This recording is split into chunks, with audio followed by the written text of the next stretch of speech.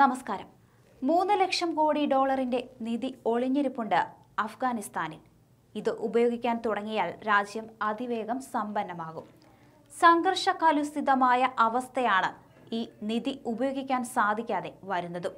എങ്കിലും താലിബാൻ നേരത്തെ ഇതിൽ കൈവച്ചിട്ടുണ്ടോ എന്ന സംശയം പങ്കുവയ്ക്കുന്ന രാഷ്ട്രീയ നിരീക്ഷകരുണ്ട്. സോവിയറ്റ് അധിനിവേശം ആഭ്യന്തര കലഹം അമേരിക്കൻ അധിനിവേശം കഴിഞ്ഞ നാല് പതിറ്റാണ്ട് അഫ്ഗാൻ കടന്നുപോയത് ഇങ്ങനെയാണ്. യുദ്ധം അവസാനിച്ചെന്നും ഇനി സമാധാനത്തിന്റെ നാളുകളാണെന്നും താലിബാൻ പ്രഖ്യാപിക്കുന്ന വേളയിൽ ചൈന അടുത്തു കൂടുന്നത് ഈ നിധി ലക്ഷ്യമിട്ട് തന്നെയാണ് എന്നാണ് പറയപ്പെടുന്നത്. ധാതു സമ്പന്നമാണ് അഫ്ഗാനിസ്ഥാന്റെ ഭൂമി. അമൂല്യമായ ലോഹങ്ങളും ഇവിടെ ഒളിഞ്ഞിരിപ്പുണ്ട്. ലോകത്തെ എല്ലാ രാജ്യങ്ങൾക്കും ബദക്ഷാനിലെ ഈ വിഭവങ്ങളെക്കുറിച്ച് അറിയാം. അഫ്ഗാൻ ഭരിച്ചവർക്കും ഇപ്പോൾ ഭരണം പിടിച്ച താലിബാനും ഇക്കാര്യം നന്നായിട്ടറിയാം. ലോകത്തെ ദരിദ്ര രാജ്യങ്ങളിൽ ഒന്നാണ് ഇന്ന് അഫ്ഗാനിസ്ഥാൻ. ഭൂമിക്കടിയിലെ ധാതു സമ്പത്ത് ഉപയോഗിക്കാൻ തുടങ്ങിയാൽ രാജ്യം അതിവേഗം കുതിക്കും. രണ്ടായിരത്തി ഇരുപതിൽ പുറത്തു വന്ന റിപ്പോർട്ടുകൾ പ്രകാരം മൂന്ന് ലക്ഷം കോടി ഡോളറിന്റെ ധാതു സമ്പത്ത് അഫ്ഗാനിലുണ്ട്. ചൈന എന്തുകൊണ്ടാണ് താലിബാനുമായി അടുക്കുന്നത്? ലോകത്തെ എല്ലാ രാജ്യങ്ങളും വിട്ടുനിൽക്കുന്ന വേളയിൽ ആദ്യം സഖ്യം പ്രഖ്യാപിച്ചത് ചൈനയാണ്. ലോകത്ത് ധാതുസമ്പത്ത് ഏറ്റവും കൂടുതൽ കൈവശം വെക്കുന്നതും വ്യാപാരം ചെയ്യുന്നതുമായ രാജ്യമാണ് ചൈന. ലോകത്തെ ധാതു സമ്പത്തിന്റെ മുപ്പത്തി അഞ്ച് ശതമാനവും അവരുടെ കൈകളിലാണ്. ആഫ്രിക്കൻ നാടുകളിൽ ധാതു ലോഹഖനികളുടെ വലിയൊരു ഭാഗം ചൈനയുടെ നിയന്ത്രണത്തിലാണ്.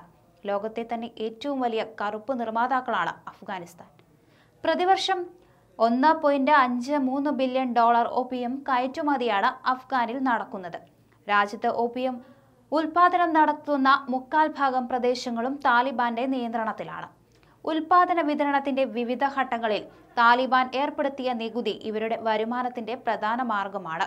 ഒപിയം ഹെറോയിൻ ആക്കി മാറ്റി ലാബുകളിൽ നിന്ന് വൻതോതിൽ നികുതിയാണ് താലിബാൻ ഈടാക്കുന്നത്.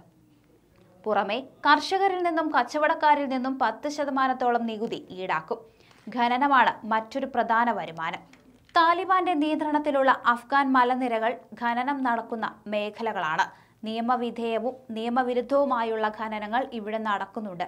താലിബാന് വൻ തുക നൽകിയാണ് ചെറുകിട ഖനന കമ്പനികൾ മുതൽ പമ്പൻ ഖനന കമ്പനികൾ വരെ ഈ കച്ചവടം നടത്തുന്നത്. താലിബാന് പണം നൽകാതെ ഈ മേഖലകളിൽ ഖനനം നടത്താൻ സാധ്യമല്ല. വിദേശ സഹായമാണ് മറ്റൊരു പ്രധാന വരുമാന മാർഗം. പാകിസ്ഥാൻ റഷ്യ ഇറാൻ തുടങ്ങിയ രാജ്യങ്ങൾ താലിബാന് വിദേശ സഹായം നൽകുന്നുണ്ടെന്ന് പലപ്പോഴും അഫ്ഗാനും അമേരിക്കയും ആരോപിച്ചിട്ടുണ്ട്. എന്നാൽ ഇത് ഈ രാജ്യങ്ങൾ നിരന്തരം നിഷേധിക്കുകയും ചെയ്തു. എന്നാൽ ഈ പണത്തിന്റെ കൃത്യമായ അളവ് എത്രയാണെന്ന് വ്യക്തമല്ല. ഇത് പ്രതിവർഷം അഞ്ഞൂറ് മില്യൺ ഡോളർ വരെ ആവാമെന്നാണ് വിദഗ്ധരുടെ കണക്കുകൂട്ടൽ. അഫ്ഗാനിസ്ഥാനിലെ വ്യാവസായിക പ്രാധാന്യമുള്ള സ്വാദ് മേഖലയുടെ നിയന്ത്രണം കയ്യിലാക്കിയ താലിബാൻ ജനങ്ങളിൽ നിന്നും വ്യവസായ സ്ഥാപനങ്ങളിൽ നിന്നും നികുതി ഈടാക്കുന്നുണ്ട്. ഇത് മറ്റൊരു പ്രധാന വരുമാന മാർഗമാണ്.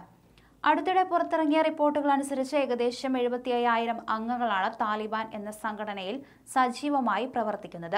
അഫ്ഗാനിൽ നിന്ന് യു എസ് പിന്മാറ്റം നടത്തിയതിന്റെ തുടർച്ചയായി അഫ്ഗാന്റെ എൺപത്തി അഞ്ച് ശതമാനം പ്രദേശവും താലിബാന്റെ നിയന്ത്രണത്തിലായിരുന്നു.